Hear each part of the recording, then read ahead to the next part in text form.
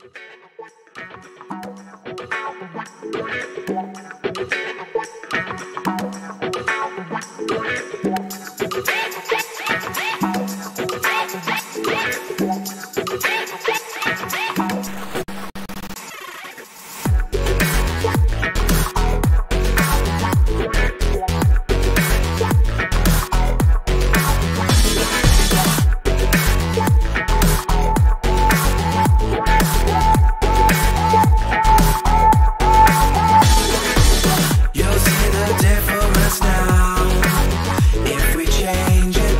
you'll know how.